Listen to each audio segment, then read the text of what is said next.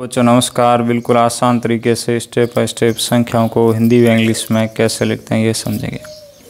Video बहुत important है तो इस वीडियो को ध्यान से देखें। तो हमारे भारतीय सिस्टम में संख्याओं को हम दाएँ हाथ से गिनते हैं। कैसे? इकाई ढाई सैकड़ा, हज़ार, दस हज़ार। ये नहीं, स्थान किसका है? हज़ार का। यहाँ कितना आ रहा है? पाँच, ज़ीरो। कितना होता है? पचास। इसके आगे आ गया इसका स्थान तो क्या बन गया? पचास हज़ार। उसके बाद आगे क्या आता है? हज़ार के बाद लाख। तो यहाँ कितना है? दो। तो क्या बन गया? दो लाख पचास हज़ार।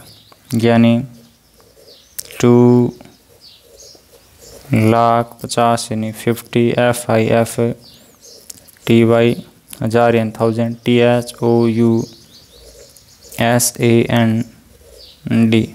ठीक है?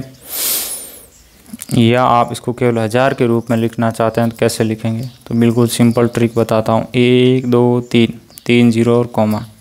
तीन ज़ीरो के लिए हम लिखेंगे हज़ार। जैसे एक हज़ार को कैसे लिखते हैं? एक और इसके साथ तीन बार ज़ीरो। यहाँ से रिलेट कर ले, ठीक है? इसके आगे कितना लिखा हुआ है?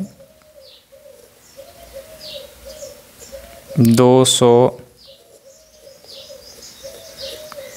पचास लिखा हुआ है। तो क्या बन गया? दो सौ पचास हज़ार, यानी दो सौ पचास। दो सौ पचास। हज़ार को कैसे लिखते हैं? कैसे? ठीक है तो इसको आप ऐसे भी लिखते हैं।